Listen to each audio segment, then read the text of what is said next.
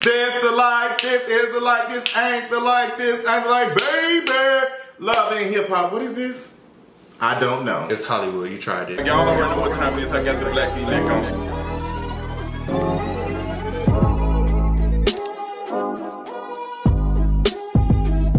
Loving Hip Hop Hollywood season, I don't know, reunion part two. I never know Season six.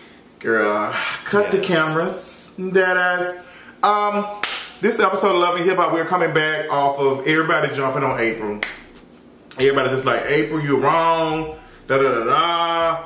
Um, wasn't J Boog pressing her and saying that she was, you know, doing some stuff and Apryl was responding like, you don't want me to bring receipts, baby girl. Yeah, but see, he owned up to his stuff. She didn't. So it's a What different. stuff did he, but he didn't say it right there in that moment. But the people that really know, really know. So you don't have. Okay, to. well, let us know since you putting everybody You ain't got to know. It's already known. Yes, we do. So J Boog apparently, allegedly, all of the things up below. Um, they said that he didn't slept with Omarion's mama, Okay. so he should just said that. No. You out here airing her out?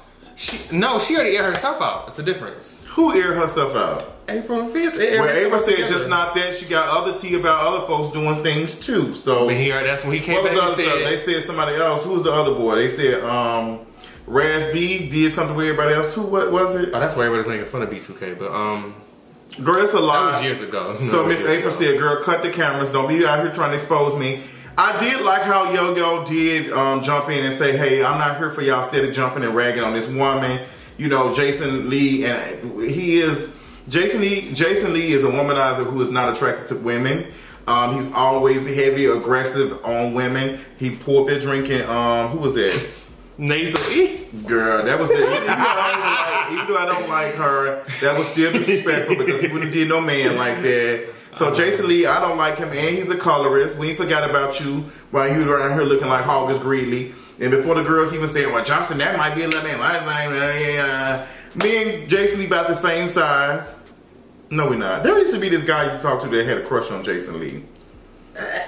You like big boys too, so But Jason Lee's not cute.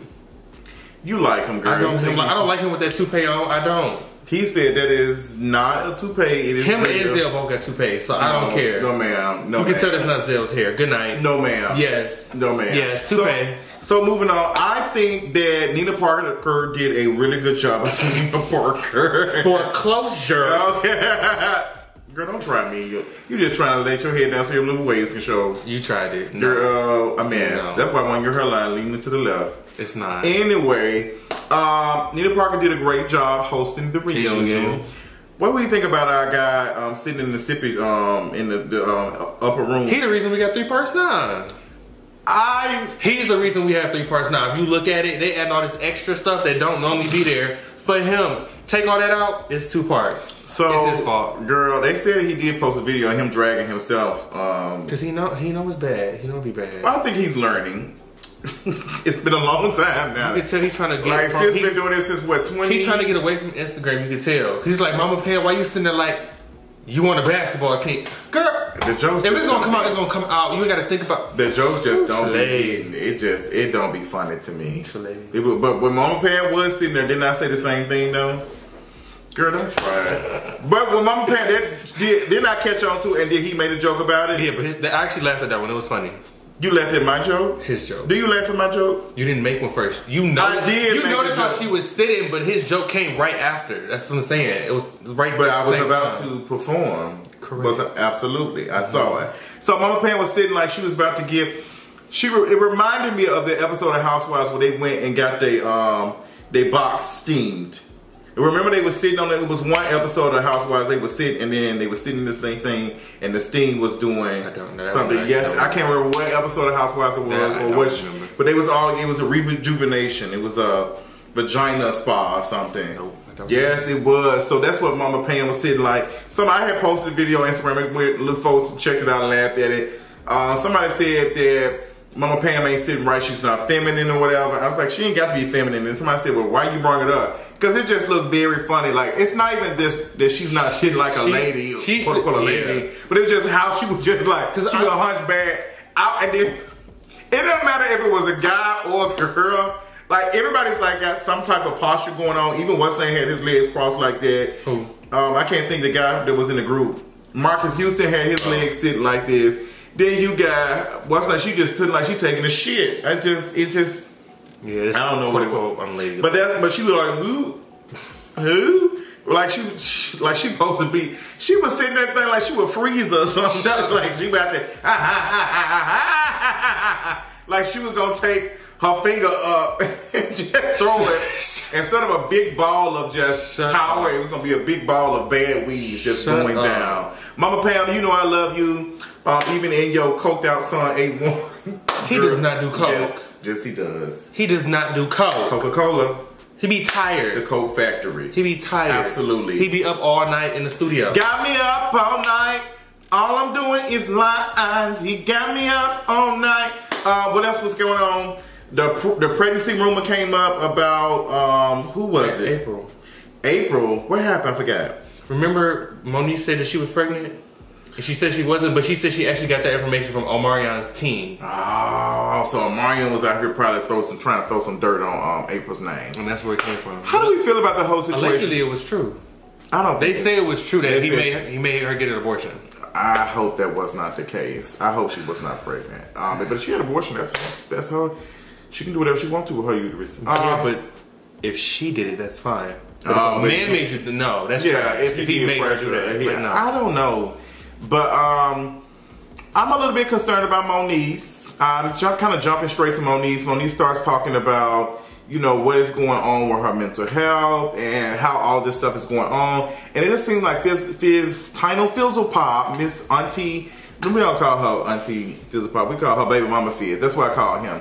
So it seems like Baby Mama Fizz just doesn't have anything. He's like, no, you need to take care of yourself when you take care of your son. You need to do all these things. But he was, Apryl was going through some depression and stuff too. And, Yeah, see, I and he was there for her. I should have had them comments ready because I read some comments to the shade room. Some people was agreeing with Monique, some people agreed with him. With Fizzle Pop. Yeah, they say it's okay if he get the custody right now. She could just go work on herself. But he needs to be right there in that moment, helping her out. He's doing it with some folks that ain't even his kids, his biological kids. Girl, I ain't gonna get into that conversation. You know how desirability works, girl. It makes you. I, I care about you. I care. I want to help you, uh, girl. I'm sure you do. I ain't gonna get into that conversation. What? Say something. Nothing. That's just this we were talking about earlier. Nothing. What you were talking about earlier at that place? No, I'm talking about Game how night? that's that's just every since no not game night. Every you know that that whole baby mama, baby daddy stuff. That's just how it always is since he doesn't feel connected to her no more. It's just like okay, I'm just treating you as whatever now at this point. But Monique I'm just the mother of my child. That's Monique it. was really going off. She was She really. She, I really felt for her. Like I really normally sometimes I don't really be, you know, feeling for Monique, but I felt her, and I? I sometimes I can tell the stuff she's going through is real. She's not sometimes Monique, TV. like she annoys me, but I, This stuff is real. I'm gonna have to go back and re-examine it because how Monique was acting, like how I was seeing her. Um, I think that loving hip hop is not the best place for you, sis. I think it's time to let go. What is she gonna do for money then? I don't know. That's the difficult Because she said it last season she was done. Then she, no, there was a season before that she said she was done. She pretty much season say it every season She's she done, before. and she comes right back. She so does. But she can't like Monique can't go to work in no like at no Publix or something. People gonna be like dragging her or something. So I you know feel a little bit for her. Um, I'm very disappointed in Fizz how he even treats her. And I, I, girl, this shit ain't fun. I'm, not, I'm, I'm laughing because I'm not disappointed. Like he's done this time and time before, so it's nothing new. In Yeah, Fizz is just trash, but you know he likes skinned trash to Apryl, so she loves it. So we move on to Zell. Um, Zell was giving information to Jason. Remember Jason? Oh, you talking about the picture? Said, what are you talking about? That's the information he went to. That, that stuff was Child. on stage. Jason said he was out here doing the work of the Lord. What you doing the work of the Lord? But you was out here clowning dark skinned women on the um on their show. Which like when you was that the work of the Lord too? Jason Lee, I just I can't take the the um you ain't nobody's blog girl. You are Dr. Robotnik Jr. Like girl, I can't wait till Sonic run into you and knock your coins out. Like girl, I just does Sonic knock coins out of Dr. Robotnik? I'm sick of you. I don't even remember. It don't really matter. Um, but um, I, like I said, I did like Yo Yo jumping in and just saying that y'all out here dragging this woman and y'all on her. And I like when, when she said like it was one point that Yo Yo Yo was on it. She said she said men have a choice too. Yeah, they do. That's But- what she was saying. Like y'all choose to drag her, but men have a choice of what they doing as well. so- Child, period, period. But I also like that she said that it was one comment she had made where she said that yeah, she he was supposed to stand up for her. Like I, I think. Oh yeah, because because it was um, Jason- Jason, was talking about when he's going back there. He said I beat you up and all this and that. She's like he's supposed to because if you don't, I'm gonna check him. Like Yo Yo was on it. Yo Yo was only thing I didn't agree with is Yo Yo talking about some the uh, the new generation needs to respect the older generation.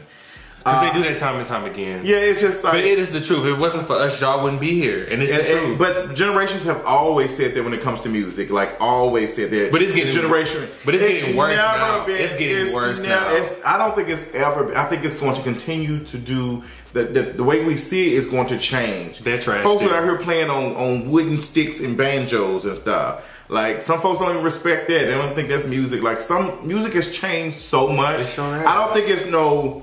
I don't think it's no deliberate disrespect to Yo Yo. I just think that's just how it is. It's unfortunate. and it's trash. It, it, like that's just that's. I'm not really justifying it, but you hear artists say it every every time, and then they come into argument like music ain't the same no more. Music ain't ever gonna be the same. It It's ain't not. like it's sad, unfortunately. no, it's not. Like we ain't listening to piano music no more we're like not that. talking about that. But it's just like music is Most people that listen to music, they listen for a message. Most music don't even have a message. It does have a message. Just what you're interested in.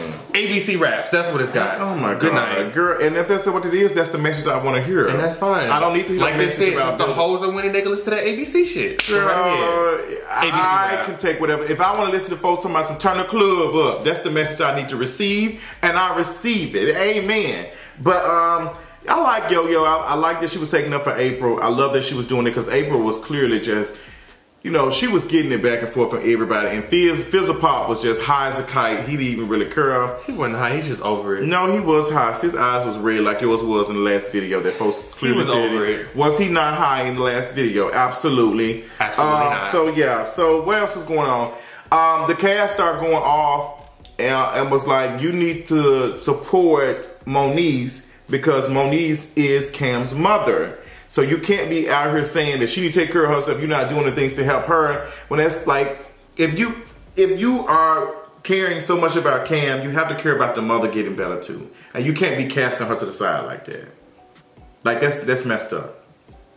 Like I can't like you you don't agree. You just like girl. I don't care. I don't get into stuff like that, so I don't know. Girl, I, I, don't- I don't get we kids. know you got a stone. I don't have kids and none of that, so I don't know. Girl, you I almost said something. Cut the cameras.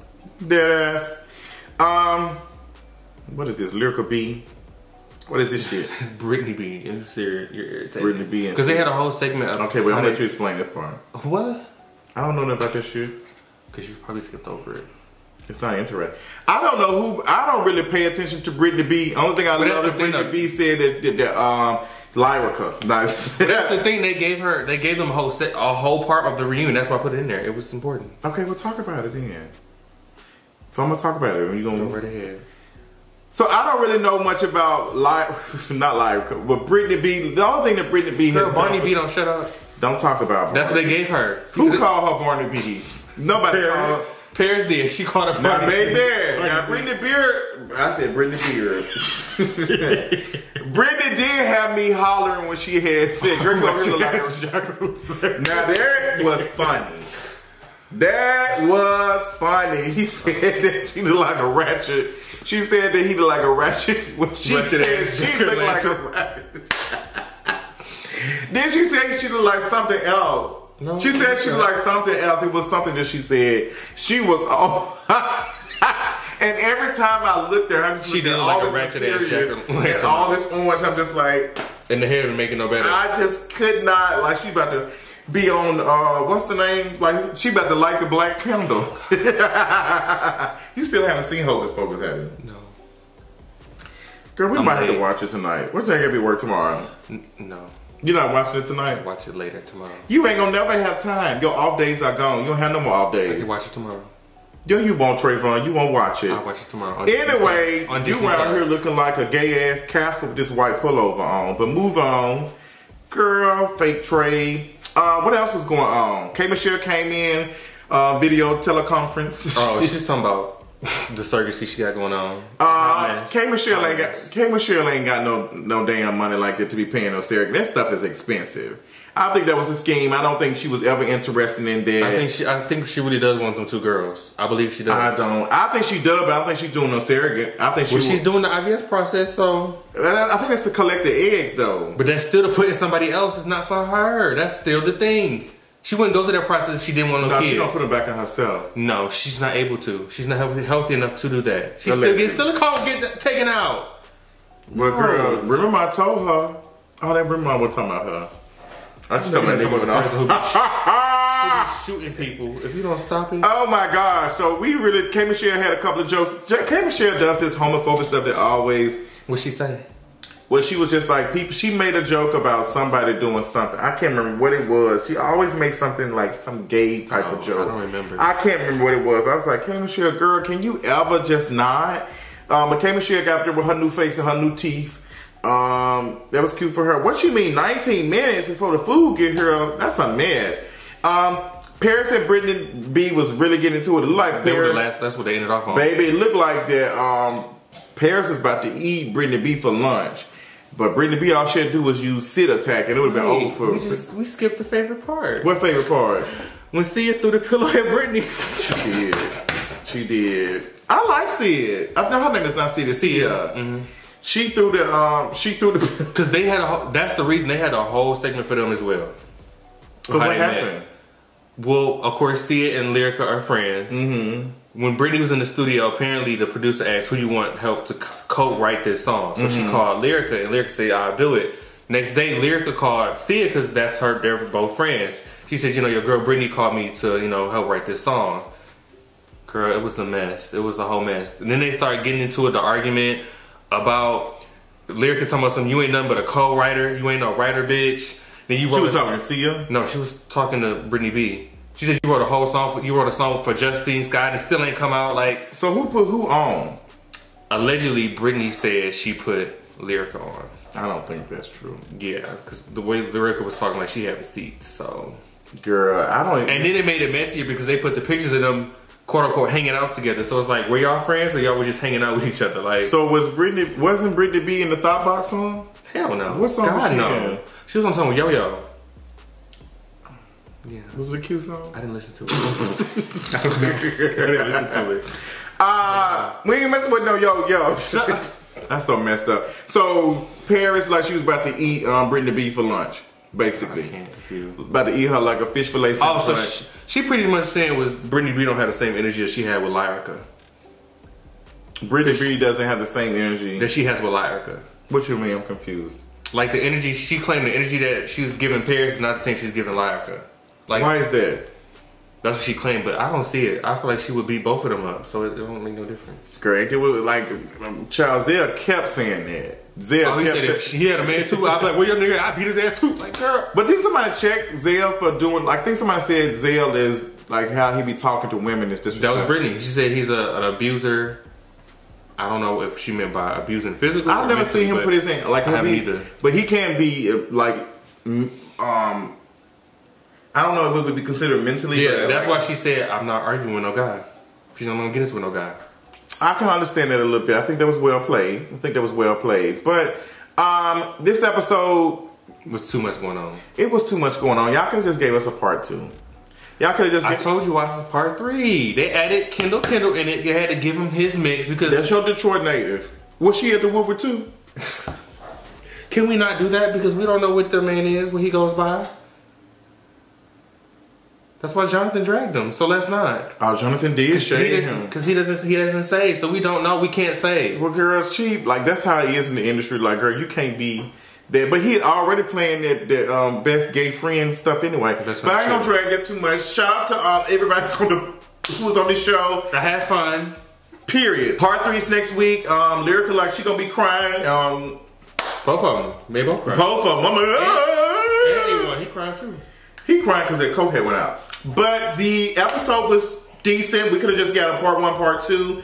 Y'all doing too much. I understand y'all trying to keep the lights on over there, but it's like, girl, we need all of that. But let us know what y'all thought about this episode, this reunion part two, and we'll see y'all next week. Oh my God, next week will be Christmas.